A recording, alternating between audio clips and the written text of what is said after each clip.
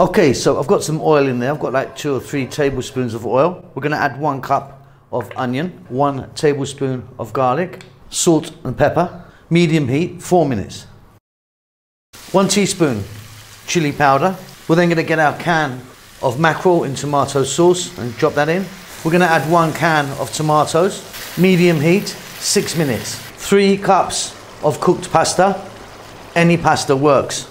Stay on this medium heat again, three to four more minutes, job done. Perfect, cheap, nice, tasty recession recipe.